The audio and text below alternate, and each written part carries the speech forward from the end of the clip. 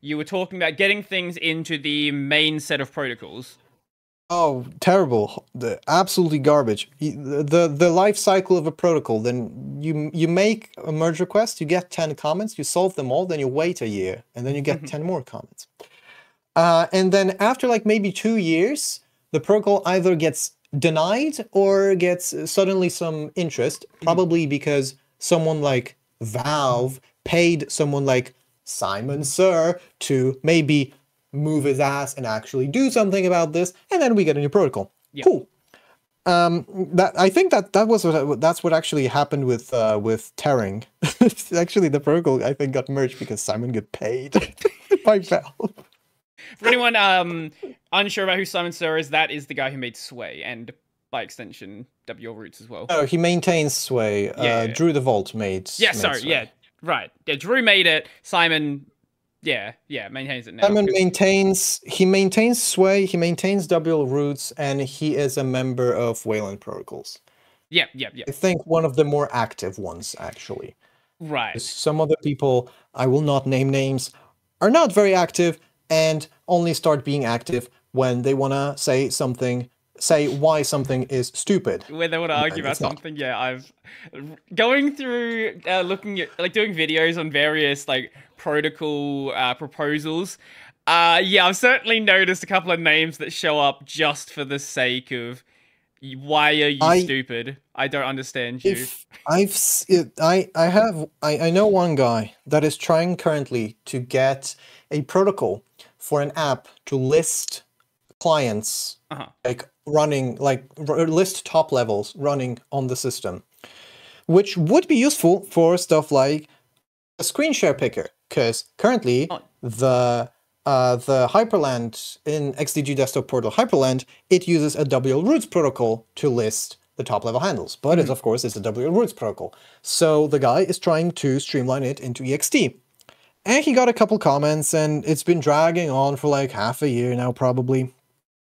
And and so because the process and i quote was so onerous i think that that's that's what daniel stone said um, simon made a proposal to relax the requirements for the protocols in ext because previously i mean currently still they require two acknowledgements from different wayland protocols members. And so he said that because ext is you know it's just extensions so it's not kind of a core protocol so it's like it doesn't really matter if there will be like lesser used protocols there. As long as they have a use and they're they legitimate make sense you um, you should probably get them. So he said that it should be one acknowledgement from a Wayland Protocols member. So, for example, if all WL Roots compositors would benefit from it, then Simon could acknowledge it as the WL Roots uh, uh, maintainer, and one acknowledgement from like a third party project. So, for example, me as uh, Right. for example, right? Because I maintain Hyprland, which is the best Wayland compositor ever. Um, but continuing, it's certainly at least in the top. yeah, it's in the top one. top Uh, I was going to say top three. I can't think of too many others I'd really care about. Um, at least top three. I'll give you top three. I don't know what top one. Maybe when uh, maybe when things stabilize a little bit and you're not making changes every single hour. I mean, every single hour, I make changes every two hours. Anyways, uh, continuing. Yes. Um, he said that yeah, you should get one acknowledgement from a Wayland Protocols member and one acknowledgement from like a third party project. And then a guy whose name I have never seen, and I, I mean never seen that, just stormed in and said basically in a very long paragraph something like why should we do this? Because what stops people from ma- making a protocol for ext kill the compositor and merging it into Wayland protocols? I'm like, brother, what the? What? I'm like, yeah, yeah, because a- protocol uh, called ext uh, crash compositor is gonna pass through one acknowledgement from the Wayland protocols and the reviewer from Wayland Protocols that has to review both of the acknowledgements, review the protocol, and actually sign it. So like, yeah, we're getting a ext crash the compositor Does this person protocol. not realize that you can crash the compositor just using htop? Yeah, I mean, you can, you can crash the compositor by just by just writing kill all. Yeah, you don't. Dash nine. You don't need like what? What is? It's not Yeah, like you need to be a super user to crash something. Like what? What? Yeah, I mean, uh, you, you you can crash GNOME by launching certain applications. Last time I And checked. let let's just Um, imagine for a second. Just imagine that protocol did exist, and for whatever reason it passed. No one will implement it. Why does it matter? Yeah. In the first place, it won't pass, even if you relax those requirements, because nobody's going to acknowledge it. Mm. And further, he raised the point that, oh, what stops this? Not like we can NACK uh, a protocol. Yeah, people can NACK a protocol, people can not acknowledge a protocol, and that kind of like blocks it from being merged. So, like, it takes one Wayland protocols member to say, like, hey guys, this is not a good idea. And like, the protocol is kind of stopped in its tracks. So, like, the person appeared out of nowhere just to say that it's bad to make this feel less like we need to go to Obama for a signed approval of our top level info protocol because otherwise, it, it- yeah, it's probably not a good idea to merge it. It's just terrible, terrible, terrible. Um, my experiences with protocols developers, I hate them all equally. Uh, like uh, I, I I hate Simon the most, but probably because he's the most active. Because all of them are the same types of assholes. Um, so uh, the thing is, uh, my my first encounter with okay, when it comes to issues, uh-huh. they usually reply with something that makes sense Right. and then they actually try to help more or less sometimes i okay once i had to wait a month for a response but um, ignoring that they mostly reply with something that makes sense especially in the Hyprland's early days there were some things that were poorly documented because WL Roots has zero documentation basically. It's just kind of like figure it out yourself. oh, um, okay. Yeah, uh, uh, Wayland, uh, the, uh, WL Roots says uh, WL Roots is documented by comments. Read them. And then you go into the code. There are no comments. Um, Oh. uh, so yeah, that, that's very funny. Uh, I remember there was a problem with Viewporter I had. Mhm. It said uh, the, the only comment about implementing Viewporter was compositors need to update their logic and use this instead of this. Did this. It caused 10,000 issues. Mhm. Yeah, um, uh, the documentation WRS is terrible, but I, it's kind of expected. It's not really a framework for many like people that really need to learn how the computer works to mm. use. It's kind of like this low-level library that kind of documents itself, I guess. But I guess you can read stuff like like like Sway or or um or DWL or Wayfire to just get a get a rough understanding of how things work. That's that's how I learned W roots because I'm not reading the fucking code that, that they gave. It's just terrible. Uh, yeah, imagine reading eighty thousand lines of code just to find something. I'm just gonna look at how yeah. Wayfire did it. Yeah, yeah. I'm gonna look how Wayfire did it. Wayfire did it this way. Oh, I understand how this works. Okay, thanks. Um, so my experience, yeah, I had some issues, especially in the beginning, um, with things that were poorly documented. I sent them to the bug tracker. They helped a bit, and yeah, in the end, it, I managed to solve the issue like ninety percent on my on my own. Um, but then I yeah. Then um I, I don't remember which one was first.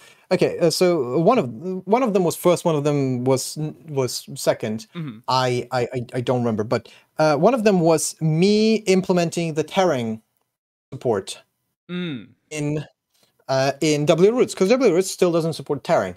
So when the tearing protocol got merged, I wrote an implementation for the tearing hint in WRoots. It just it just implemented the hint because the protocol technically was just a hint. Yep. Um, the protocol doesn't didn't like say explicitly the compositor has to enable tearing or whatever. It's just a hint. It's just like kind of please tear me. Yep. Yep. Um, so I, I implemented this hint in WRoots, and I wrote I wrote an implementation in Hyprland for the for the compositor. Mhm. And uh, after like 80 comments about the style, which thanks WL Roots devs for making a, a 200 line MD file about the style, not providing a Clang format file. Uh, so basically, you had to do manual formatting. Oh, Great. Yep. That sounds fun. Um, uh, so, like 80 comments about the format and stuff like that. Mhm. Uh, Simon asked me a question like, how should this protocol be used? Mhm. I'm like, the compositor can either ignore or not a request for an app to be torn, probably only when it's full screen and when it's the only surface that's showing. Mhm. And and yeah, that was that, that makes sense. But I said that of course W Roots currently doesn't allow tearing. It it can't do tearing. Um, and so he was like, yeah, and, and I asked whether should the tearing implementation, like the actual tearing, be in this PR or should it be in the separate? And he said that he does he doesn't care. It, it can be either. And so I said, all right, cool. Um, I looked through the code. I tried a bunch of things, but I am not a graphical engineer or whatever, or a Linux engineer, and I can't I can't really figure out how to do tearing um, in W roots. I, I I generally don't know. I I'm not really proficient with like low level KMS stuff. Um, and so I was like, yeah, I tried this, this, and this, which was mostly uh, removing checks that prevented submitting more frames than the frame rate, and it just ended up making more errors. yeah.